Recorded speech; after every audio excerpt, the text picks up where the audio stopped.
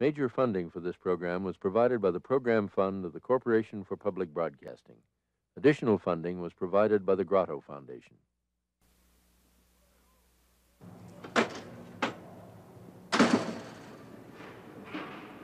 A bullet hole! A bullet hole! Got any food? Yeah, what do you want me to shoot down? In the pressure cooker of today's prisons, holding on to one's own inner spiritual identity can become the only way to stay alive. This is the story of American Indian prisoners who have returned to traditional religious practices in order to survive, both on the cell block and in the hold.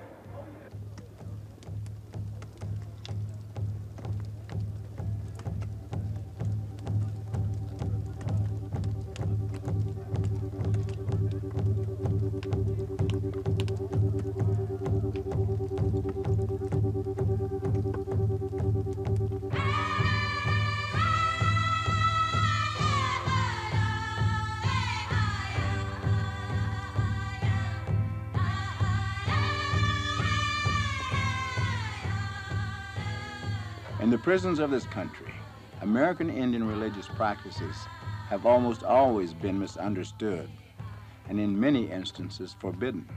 However, since the American Indian Freedom Religious Act was passed by Congress in 1978, Indian religious practices have the legal status of any other religion.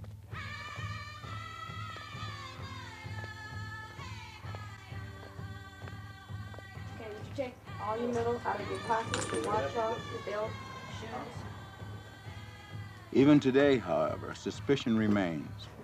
Indian spiritual advisors are not formally accredited as ministers and priests and always need special permission to conduct traditional religious practices in prison. Lame Deer is a traditional Indian spiritual advisor. He has come to help construct a sweat lodge and to lead prisoners in the traditional sweat ceremony. Thank you.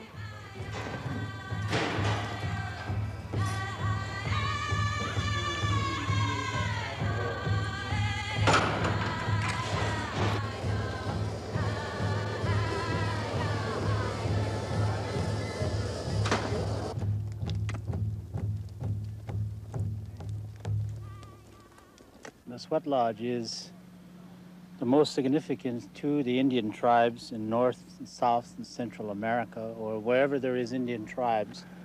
For the guys inside the prison system, it is really needed for rehabilitation purposes. The Indian has never been allowed to rehabilitate himself in his own spiritual world, in his own spiritual teachings and training. It has made a new outlook on life for those brothers that are inside the prison walls and also the sisters that are inside the prison walls. We have to teach the brothers inside the prisons what the sweat lodge is all about so that we may see our brothers on the outside not to be returning to these places. The sweat lodge, that's the only place, that's the only place where I know that two enemies can walk in there and come out as brothers. That's the only place I know. After the sweat lodge, I'd been here for a while, and I started sweating. Uh, uh, it began to open new doors up for me. I began to gain a little more knowledge about myself. I gain a lot of wisdom on every time I sweat. And uh, I get stronger each time. You know, it doesn't look like it when I come out, but I feel good. You know, I feel good about myself and about who I am. It's brought me in better touch with myself and with the surroundings around me.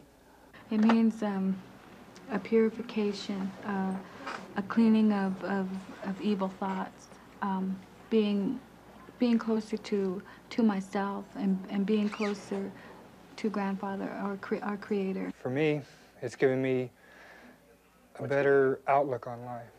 This ceremony, I mean the sweat ceremony, being able to participate in it, being able to, to talk with, with people, brothers. I didn't even know the meaning of the sweat, sweat lodge.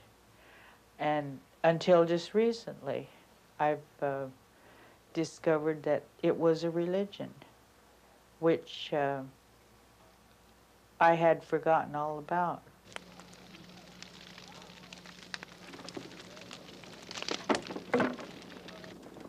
We can keep the sweat lodge this high all the way through, it'd be nice. Do like Dennis Bank, it, it went up and looked like a missile going up. there are many things that many people do not know about. Many people always associate the sweat lodge as a glorified sauna. We use lava rocks and certain rocks that represent the earth that come inside the sweat lodge, and when it does, it represents the fire. And it is mixed with the water, which when it mixes together, it creates steam, what we call grandfather's breath. Uh, sage is also used. There is a certain sage called a white sage. When you use it, it smells exactly like a marijuana. So our brothers inside the prisons get busted because of it. Yeah, you, you guys didn't make no tobacco ties, huh? We need 104 of them. State contribution. All under the state expense. Last time it took us how many? Six hours? Yeah, that's right.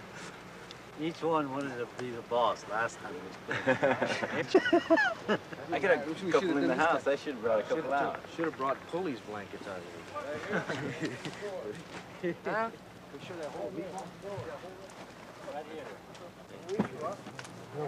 We should have whole Which right? Still to go on yet. We still got the big canvas to come on yet. That's good right there.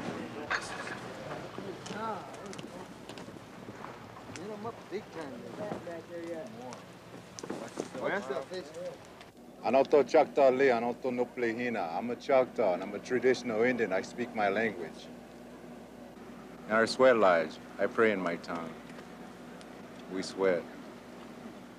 The sweat lodge is the beginning and opening of all ceremony. What if it's Yuwipi ceremony, a Sundance ceremony, whatever ceremony, that's the beginning. You go in there and cleanse yourself, then go into other ceremonies. What makes me angry is when they disrespect what we respect. Our sacredness, our eagle feathers, our pipe, our skull, and all that. They want to check it out like it's a weapon. Sit right there facing out. Face out that way?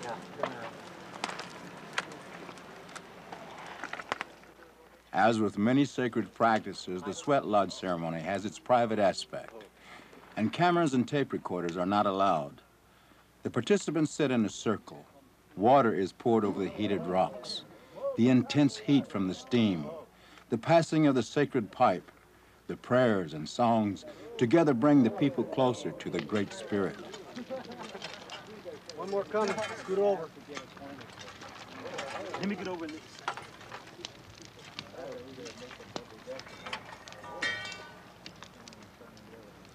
Although he doesn't enter the sweat lodge, the fire tender's role as keeper of the sacred fire is a privileged position. Here in our sweat lodge, we sit on Mother Earth. We have four powers in there. We sit on Mother Earth. We bring the fire power, the red hot rocks inside. Bring the water power. Then we put the water and the steam, that air. We put those four powers together inside there. You can't see that power, but you can feel it. The ceremonial pipe is sometimes called a peace pipe. It is a kind of movable altar and is assembled only when it is used in a ceremony. The pipe is like, to a white man, it's a Bible. It's a Bible. We smoke our plants in there, our tobacco. The smoke goes up, there's the prayers that we send up. And they never understand that because to them, anybody could buy a pipe and smoke. They think we're still playing Indians. They don't see us as for real. We are from real from beginning of time. We are still here. The spirit of the beginning is still here.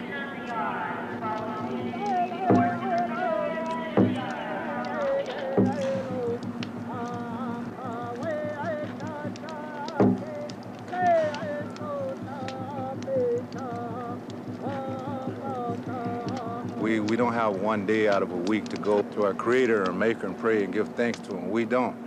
We don't pray for ourselves.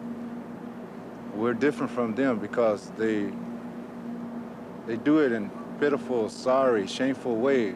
They get on their knees and hold their hand and pray, save me, save me, save me. All the red brothers, when they pray, they don't pray for themselves. They pray for others because another brother in that sacred circle is praying for you. He don't pray for himself. So everything in that sacred circle is being taken care of. without you thinking of yourself.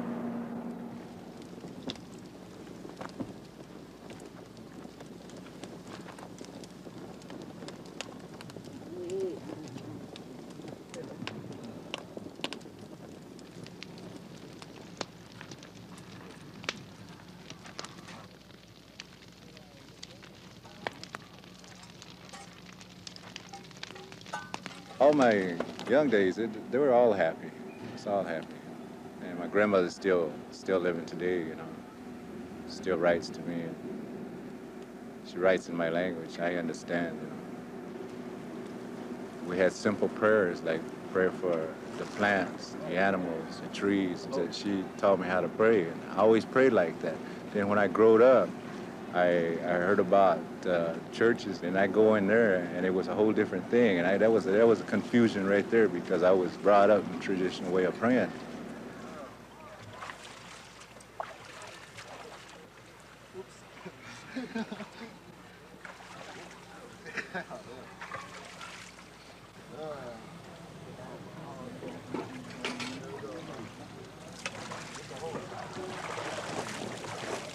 Why I'm here for is because I don't tell on my brothers. And they say if I testify against my brother, I will be in prison. Here I am. Well, they had me for first degree murder, nine counts attempt to commit murder. They know who did it, but when I wouldn't testify, they put it all on me. They put the murder on me, and I went to jury trial, so they found me guilty and gave me seven, which uh, my release date next year at this time I will be out.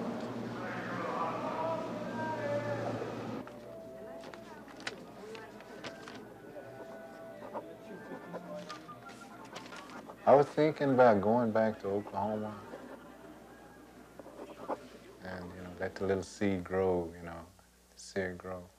But then you still have that little wild in you that still isn't really ready to settle. My grandmother raised me since I was a little baby on up to 12 years old. And she was always saying, I'm a man after I'm 12 years old. I'm on my own. You know, and I, I was scared to be 12 years old, but I was 12 years old. And I went to school there, played sports, got in all sports, did good. And 15 years old, I went to Chilocco Indian School, stayed there, and got to know the different tribes and different ways. Then when I turned 18, uh, the BIA, Bureau of Indian Affairs, they signed up to go to LA. So I stayed in LA as a welder. Only, only time you seen uh, big lights we were on in, in a newspaper, right? And I, I wanted to begin and get in, check it out. So I did. I went in and checked it out. I, I was in a clique. I went to Chicans. I was the only Indians. They called me Vato Indio Loco, right?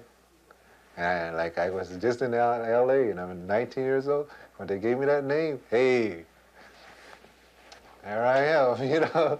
Hey, that was a mean boy right there, you know.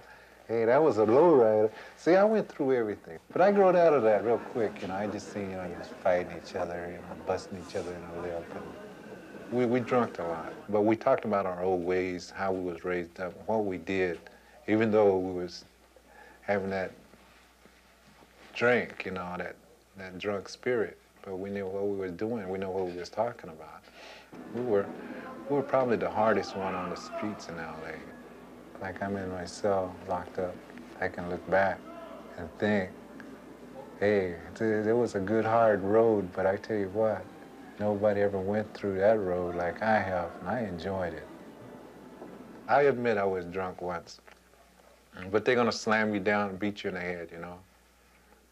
You know, you know, I seen that. I always seen that. You know, that they, they, they brought a lot of anger on you. Why, why do they do this? You know, a lot of these these white winos are laying down drunk and everything, and the cops just go right over them, don't even say nothing.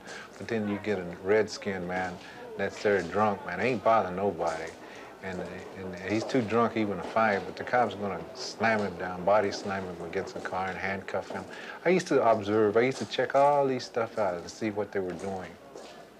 You start thinking way, way back to cavalry days, what how they wear the same uniform as uh, as what they did to your your grand grand ancestors, way back there, what they did to your ancestors, and that's just what they did to me. That's the way I seen what they did. They they have no no feelings for you whatsoever. Once they got that blue uniform on, cavalry, let's ride, you know. And it's, a pity the way they are. That's the way I look at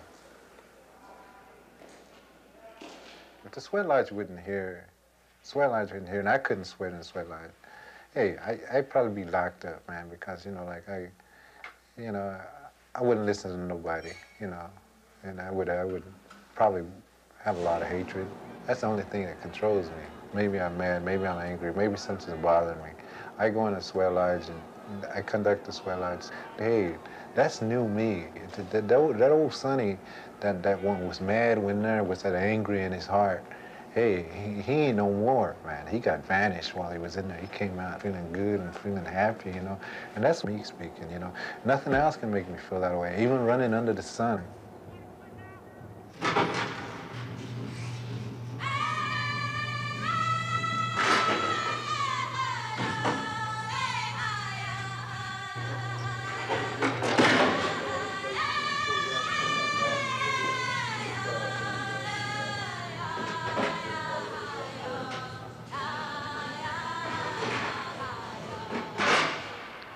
Much on a reservation, you know.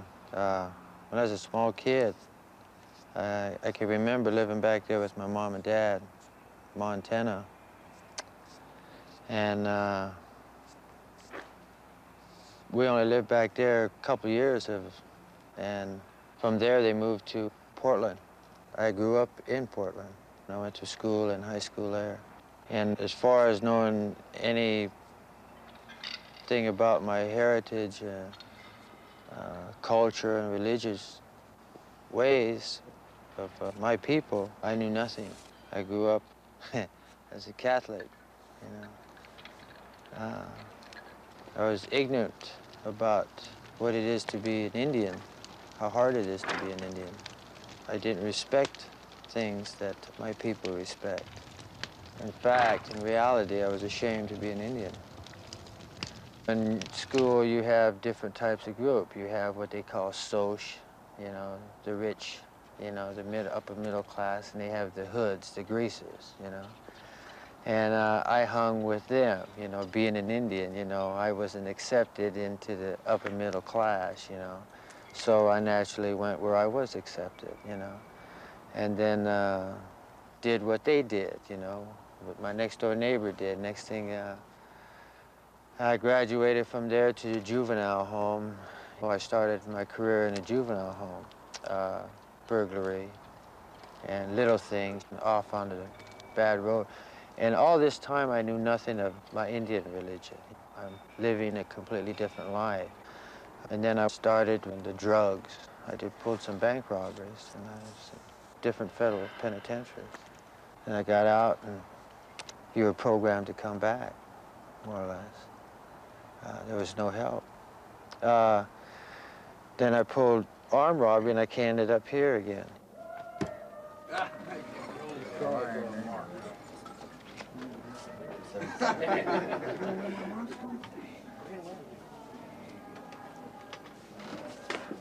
Good shot. Wait, wait. Did it again. When I first came here, I was lost. And uh, none of this was uh, for me, you know. It was all about getting back out and hitting them nightclubs. That was my fault.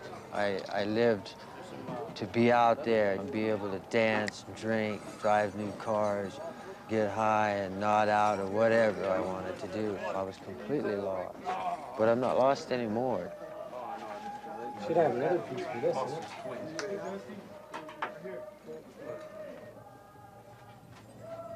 now that we have our sweats, we have our pipe, uh, I know who I am and I, I'm proud of who I am.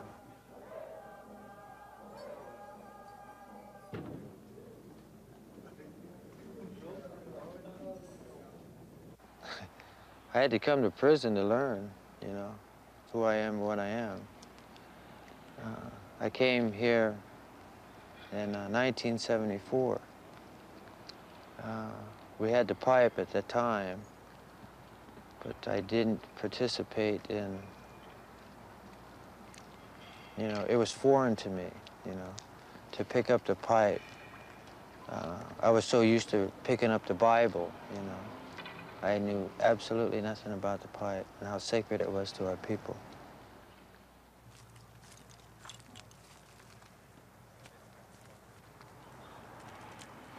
Like I didn't know anything about sweat lodge until I come here to it.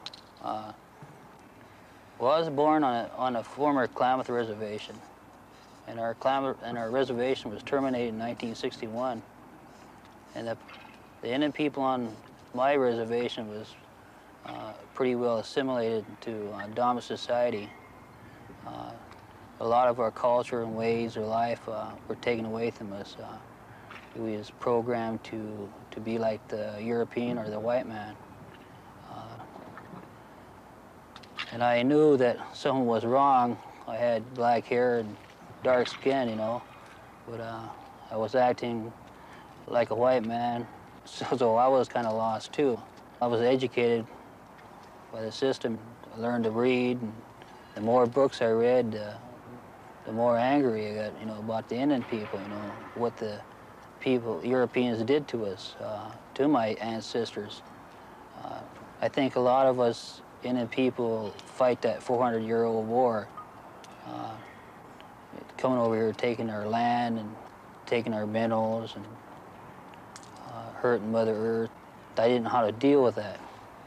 Then I came to a penitentiary when I was 18 years old for uh, killing an Indian brother over a drunken argument. Uh, and this only uh, added to the pain that was within me. Uh, then I, after I came to prison, I used to lay down in segregation for uh, weeks at a time and create some more bitterness and hatred within me. It finally got out of balance. I hated everything. I hated guards, I hated white people, I hated black people, I hated the system, I hated everything. And this went on for another 13 years, and I ended up taking another life. And uh, I killed a bartender, and I got a life sentence out of that. And that happened in uh, 1973.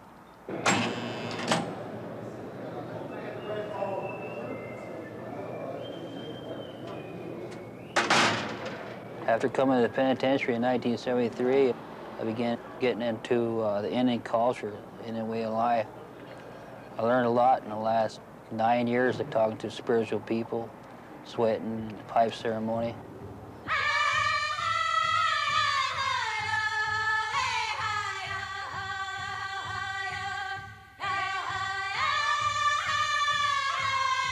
We lived across the river on the reservation, what they call across the river. There's a river that runs through. And on our side, we're the Yahooskin band of Snake Indians, which lived across the river. And my grandmother had a sweat lodge, which was made of canvas. And I would help her because she had a lot of sons, but they were out doing their thing. So we lived primitive. We had outside toilets, no running water. You got your water from the well. But it seemed like we were all happy. Horseback riding. Then later, I was just uh, transported from that environment to the Catholic school. And then I kind of forgotten all about home because I was there for four years. And let's say I grew up there in that environment uh, learning their ways, forgetting I even had any other ways. When I went into DTs, the Catholic religion was the only thing that I had to fall back on to help me. I was in a room by myself with the water dripping from the shower and day and night until that just threw me up the wall there. I was climbing the walls. I wanted to get out of there. when I was a kid of 13, I committed a crime which I don't recall at all. I, I don't remember. I had electric shock treatments when I was 13 years old. They blanked part of my memory out. I was sentenced to three and a half years in Alderson, West Virginia. And I wound up doing another three years in uh, Washington, D.C. So, I mean, I think that I was mistreated. But at the time, there wasn't anything I could do.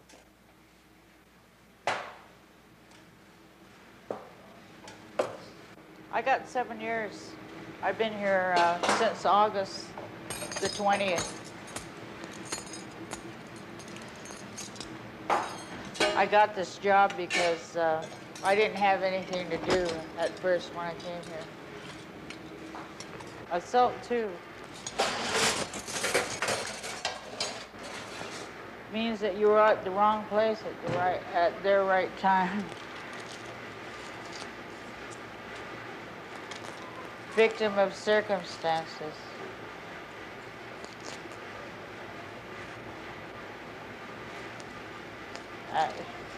As the saying goes, they framed me. I think for seven years, you have to be here about six months before you go before the parole board. I think a lot of Indians have a problem with alcohol and drugs, and I don't think that antabuse and tranquilizers are helping anybody. I think that Indian religion is the answer to the Indians' problems with alcohol. I feel like it helped me. And I think if we learn our own culture and our own religion, that this would help more than anything. The Indian people need their own culture back that they took away from us.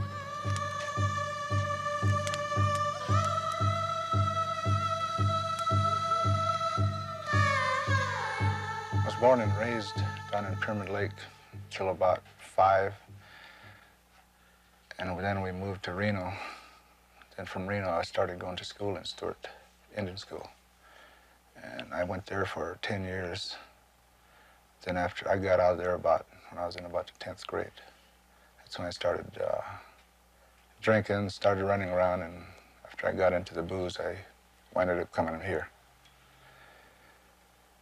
Then after being here about four years ago, I got involved into the sweat. And what sweat has did for me was learned a lot by controlling myself, my attitude, my mind, how it works. I can see what I didn't see when I was younger. It's gotten me away from taboos to where I can say no, I don't want it no more. Which I don't. It's gotten me closer to my family, my wife, everything.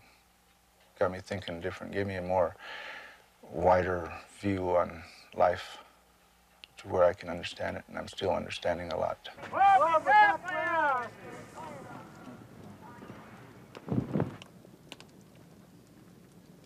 The brothers that goes there with you and they're behind you all the way, that what you do and what you say in the sweat, they give you all the support you need. They give you help. And what you don't understand, there's anywhere from five to 15 people in there in the sweat with us that would help us. And they all have something to say. So one of them would give up a pretty strong suggestion on how I would go about quitting or how I would get a little more support with all the rest of the brothers in the sweat. They'd give a little support on that. And you'd get a better understanding towards yourself and towards the other people.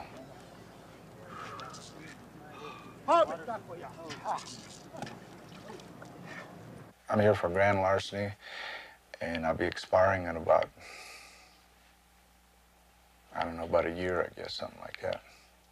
And when I get out of here, I'll be continuing going on to the sweats.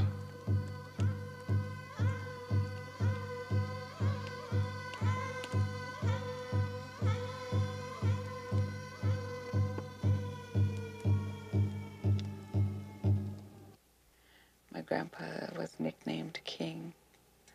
Uh, and he was a king, a chief. this sort of thing. Um,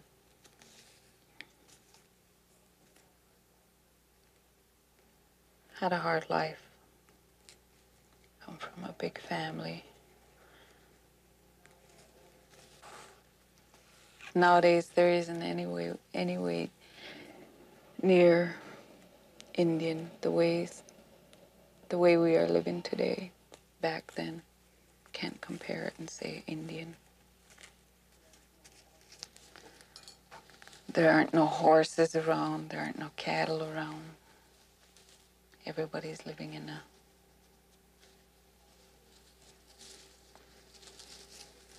one of these um, fabricated, assembled houses. Nothing. Um, my life is pretty good. We had a lot of hard times, but we all we all faced them together. My grandma used to always talk Indian to all of us, and um, my grandpa, my Lala. I picked up on a lot of this when praying traditionally. I started drinking when I was very young. I had gone away to school, and uh, it was a, lo- a long way from a long way from home, and I I seen a lot of my roommates, dorm mates, all doing it, and no one twisted my arm. I wanted to, and my first drink was wine, and I I was told it was vodka, and it was um, homecoming night. I landed in the hospital. I landed in jail. And that was like when I think I was about 16 years old. I, I just remember drinking that day. I just remember drinking. And um, damn, kind of makes me uneasy to talk about it because I can't remember. I couldn't defend myself in my trial either because I, I had no knowledge of what had gone on. But it's all alcohol related. I just, I just, um, from what I gather, one of my brother-in-laws had gotten hit in the head with a bat.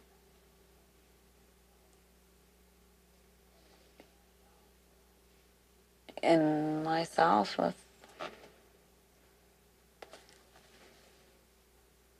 I was sober, I don't think I would have did anything while I was drunk. I guess I just had to get into battle too.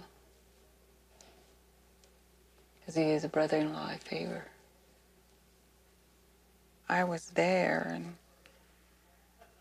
there was a feud between a woman and a man. And uh, I somehow got myself involved. I had um, stabbed a guy four times. And uh, according to the my PSI paper report, um, the coroner said the guy would have lived had he gone to the hospital. Um, he more or less drowned in his own blood, I guess. It was real hard for me to talk about this. I can't get over what I did no matter where I've gone, I've always gotten along great with people. Um, something that really bothered me about the thing was, about my crime was, when I was being questioned, they asked me if I would, out of a picture of three men, would I recognize the man? When they showed me this picture, I couldn't show them who the guy was that was supposed that I was supposed to have murdered. I couldn't pick him out. I didn't know who he was. My sentence was for five years of voluntary manslaughter from second degree murder. I couldn't believe murder behind my name, a number, shackled, tight handcuffs, shoved around. A one block, a one block, I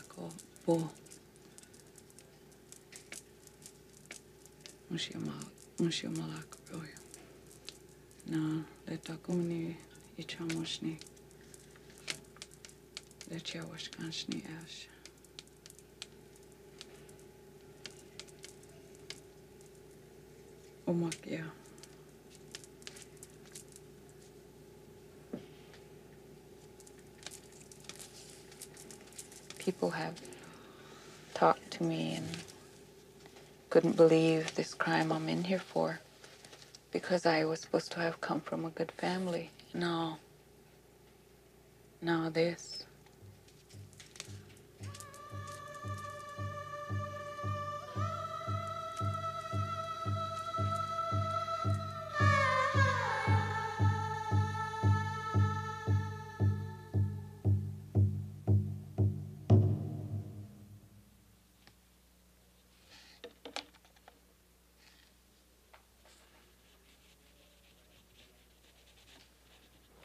Frank, if you got a little bit of white over there? And some dark brown. All right. I started when I was in grade school. I saw a picture I wanted to draw to see if I could draw. And it turned out not too bad, so I entered it in a art contest and I got an honorable mention on it. Ever since then, I, you know. Myself, I didn't start until summer of 76. My art teacher couldn't believe I could draw, and she thought that Lloyd had did it. She says, your brother did this, didn't he? I told her, no, I did it. And she goes, really? And I go, yeah, I'll show you, you know. And I sat down and started drawing a picture, and she said, wow, you really can do it, you know. And uh, ever since I've been going, I uh, entered five of the first drawings that I did in art festival, and I got three first place ribbons and two second place ribbons and a, a best of art show ribbon. So I've been going ever since. In the last five years that we've been down, you know, my brother taught me how to draw in colors, and we both been going ever since. Just been kicking them out left and right.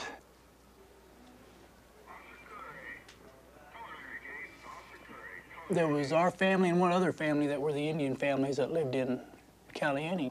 So uh, we didn't let anybody tell us what to do. Sure, a lot of older guys always kicked our butts. White Uh, guys, mostly white dudes. That's where we grew up in, in a white society. They'd call you Hiawatha and renegade and savage. And... Tonto and this and that. So uh, we told them, all right, yeah, that's cool. As we started getting older, we started getting tougher and tougher. And then they started leaving us alone.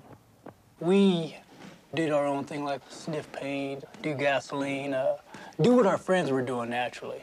A lot of them was into it, so we got into it until we broke into schools, broke into churches, uh, just for kicks, for something to do. So we got busted one time for stealing all kinds of tools and stuff out of a trailer house. They arrested us and took us straight to Elko, to the boys' school. Well, after we got out of the boys' school, there was a period of about maybe five years. And he went his way and I went mine. Well, I come back to Caliente and we got together again, you know, just started partying all over again. Well, my brother and I are both partiers.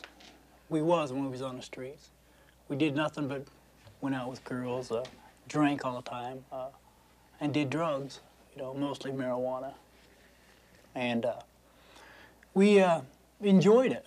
You know, any anytime we could get some money, the town was so small anyway, Caliente, for example. And we uh, had nothing to do. Couldn't get no work, there's no jobs. We were looking for kicks. I, I threw a rock at the cop car. Uh, go ahead and tell them what you know more about than I Well, we'd started drinking about, oh, it must have been about, what, six, seven in the evening after I got off of work. And Van and I and Frank. We have a good friend named Van Garcia. Well, he'd been beaten by this officer. We did a few things that we didn't intend to do, like hit a cop car and, you know, things like that. But when my partner was arrested, I talked to my brother and told him what had happened. I started telling Lloyd, man, we gotta find out what's wrong with Van. We gotta find out what's wrong with Van, you know, after he told me what had happened, see. And uh, I, I had anger in me at the time, you know, but I wanted to know if he was all right or not. So we went and got guns, and we're going to go down to the police station and find out how bad our, our friend was. And in case this cop decided he wanted to do the same thing to us, that is, that's the reason we had the guns. So we went in, and I went into one part of the jailhouse, and Frank went into the judge's chambers. And while I was in the jailhouse, I heard shooting. I, I, I went in and I told him, all right, hold it right there, you know. Don't, don't make any sudden moves, you know. I had the gun pointed on him. And I told the policeman, what did you do that to Van Garcia for? You know, I was cussing at him. And before I could finish that sentence, his gun was coming around and there was flame shooting out of his gun this far. And I was shooting through the doorway and he was shooting at me, you know. And it just a couple matter of seconds, all this happened, and I seen him fall over on his side. When he called me, I knew that Frank was shot. And I didn't know if the cop had been shot or not. And the next thing I know, they arrested us for capital murder because the cop ended up dying. He just ended up being killed.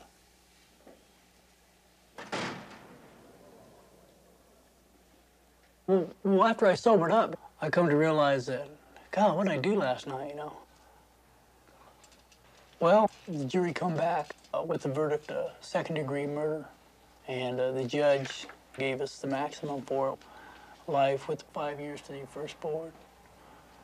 And uh, that was the outcome of it. I feel that we had a fair trial. And we come away with better than what we expected. We're going on our sixth year now.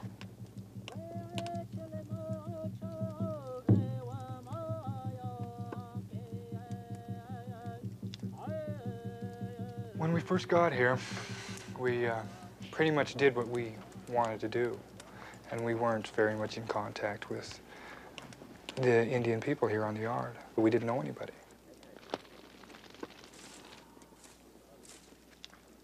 And they come in contact with us and they started asking us, well, would you like to uh, participate in some of the things we do? And it sounded interesting to me because I'd never really known anything like it. And the further I got into it, the better I liked it.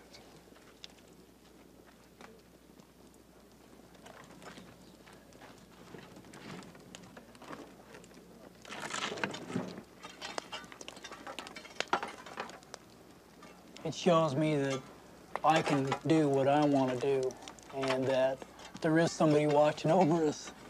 Not necessarily a human form or what, but from the things that I've gone through, it can't be nothing else.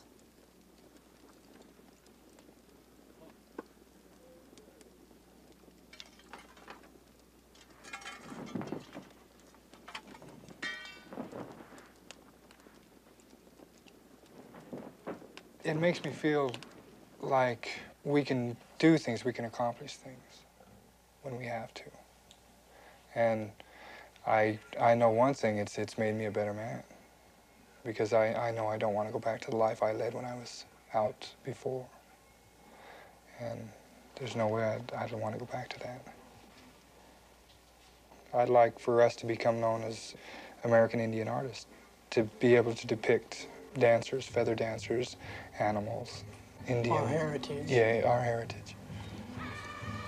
Our moms always told us to be proud as Indians. What's good is good. well, here, help yourselves to that there. One scoop or two scoops? Two scoops if they want to leave us, all right. Two scoops. Two scoops of raisins and calories. Raisins. Got any raisins in there? Good. You're gonna get busy, huh?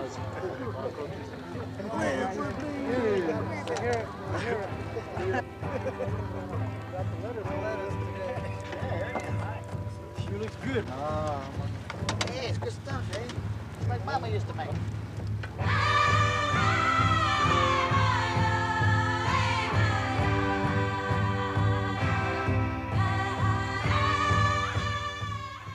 When I first learned how to sweat, it was after I started my moon. I was 10 years old. The sweat lodge was built for maybe four women, and it was built up by a creek which ran right by, and I didn't like it at first. But as I sweated every week with my grandmother and my aunt, and it became part of my life. I didn't understand, but they explained to me little by little. I was um, born and raised on the Klamath Modoc Reservation for about seven years. That was with my mother. And then I moved to Hoopa, California, and lived about eight years um, with my father. And then my mother had remarried and moved to Portland, Oregon with my four brothers.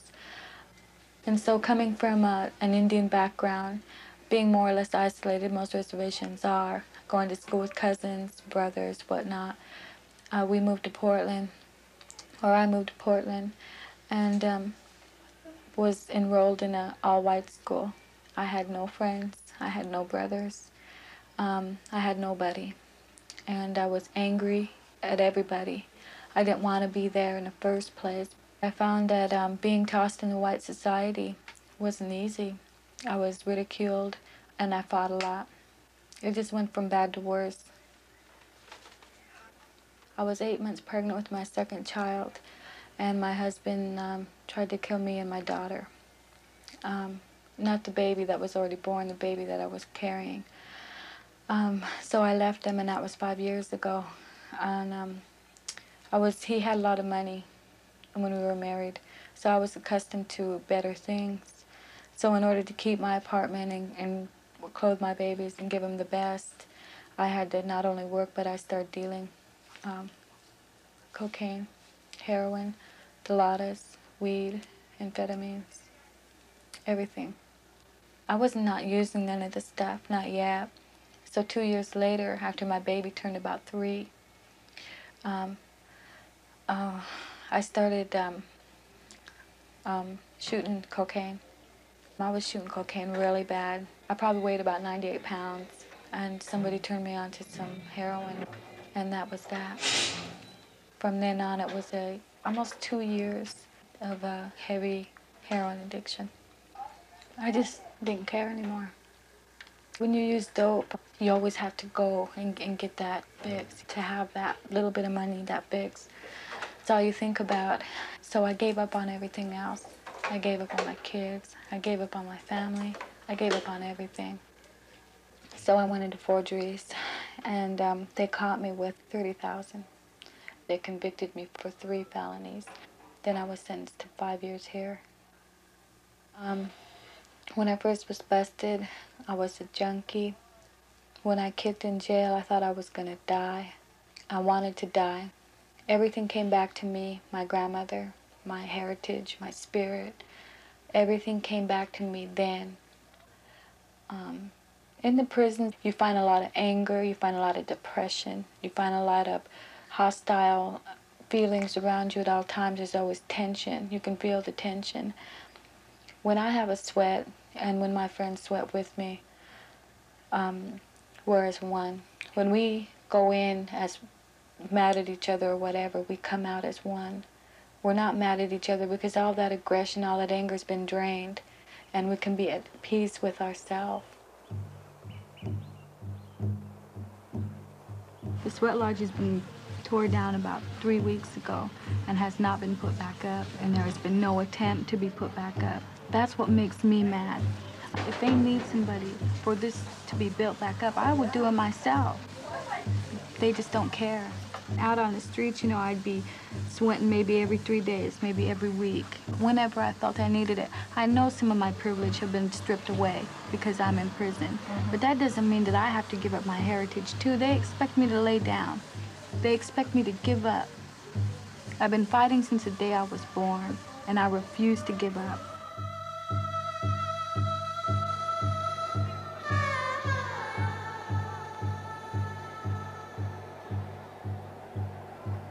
Uh, the pipe was brought to penitentiary in 1974, and it took us about a year, I guess, uh, to get it approved by the prison administration.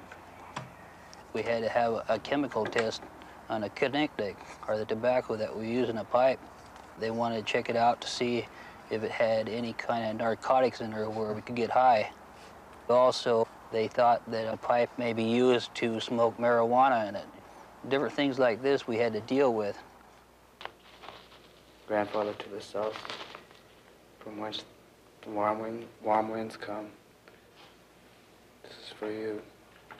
To you, grandfather. Wakantanka, Tokashla. Join this sacred circle today, grandfather. And this tobacco is for you. This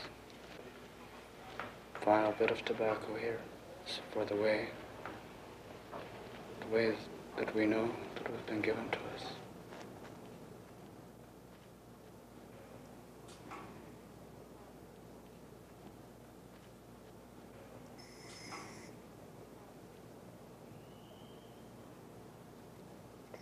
After the prison administration found out that we were sincere about our pipe ceremony, we run into another problem, and that was having spiritual leaders come in here to lead the pipe. So we had to submit a proposal to bring spiritual leaders in here. And when we first started out, several times they were denied because a spiritual leader doesn't have documentation like a chaplain or a priest. So as time went on, uh, I, this one medicine man or spiritual man used to come in and, and visit me, you know, to kind of help me deal with the problem in here. So uh, the medicine man told me that uh, to have pity on this on the guards, you know, because uh, if they had the knowledge uh, that we have, uh, then they wouldn't uh, be making fun of our, our feathers, which was, you know, pretty simple when you think about it. I had to run back to the cell block a while ago, and I run back to pick up my eagle feather, you know, because I bring it down to a sweat. And I was coming through the control room floor when uh, the officer says, what are you doing with that pigeon feather? He said. I said, yeah, it's a big pigeon, I said. And he says, uh, is that an eagle feather? And I said, no, it's a pigeon feather, I said, you know. And, you know, without me getting mad at them for something, for uh, an ignorant remark that they make towards something that I value, um, I go about my way. And the eagle feather to us is sacred. It's a sacred bird. Uh, we, we take, we have much pride in having eagle feather. Uh, we pray with the eagle feather. Sweat Lodge was brought in here in January 1979. And it took us four years to get it in here.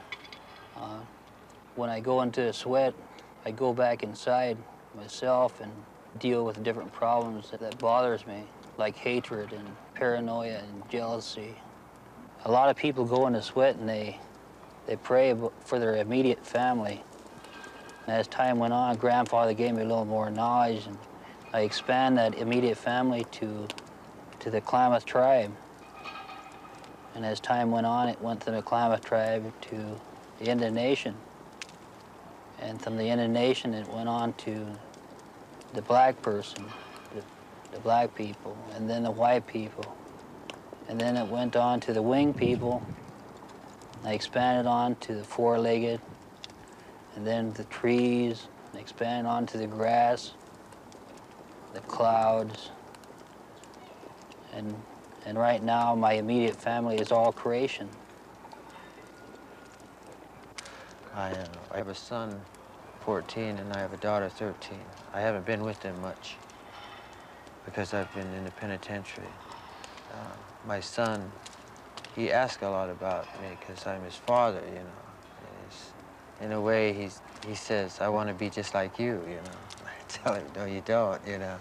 Uh, you can, but you can't, you know. Uh, but he, he's at that age now where, you know, he comes here and he visits me, you know. Uh, and he asks questions, you know. And it's good that he asks questions because I want to teach him, you know. I want to teach him, you know, he knows he's Indian, you know. Uh, you know, and it's, that's something he, he's proud of, you know and, and he says that to me. He knows I sweat every weekend, and he wants me to teach him about the sweat lodge. Uh, the sweat brings Indian brother to realize who he is, what he is, teaches him respect, to love his brother rather than to be jealous of him, and to help one that is in trouble. He may not be of your tribe, but you help him, he's your brother. And that's what's going on here now. The only time brothers get in an argument is on the basketball court when they play buffalo ball, they call it. They don't call it basketball, it's buffalo ball. Before then, you might have to worry about going out to the yard, end up in a fight before you leave. with one of your own brothers.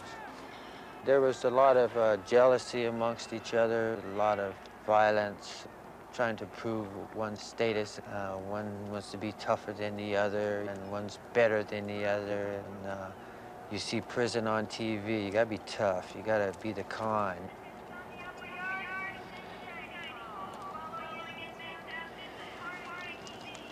I think having the sweat lodge and the, the pipe and spiritual leaders coming inside has done more for the Indian people inside.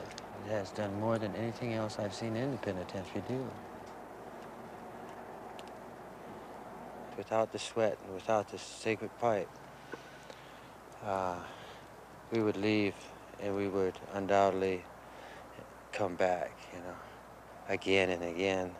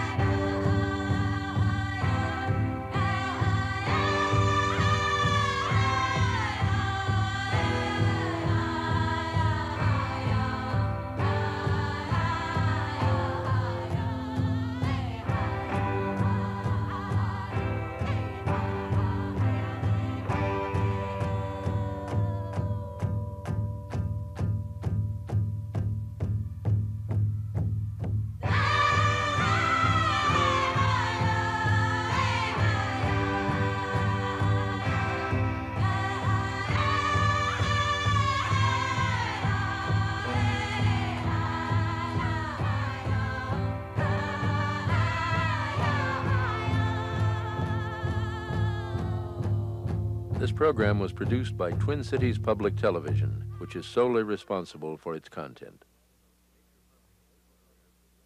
Major funding for this program was provided by the Program Fund of the Corporation for Public Broadcasting. Additional funding was provided by the Grotto Foundation. Thank you.